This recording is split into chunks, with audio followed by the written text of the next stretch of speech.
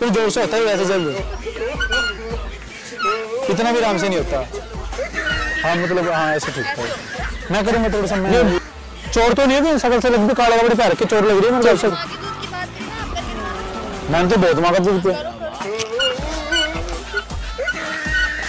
देख कितने ज़्यादा पी रखे मैंने। है ना?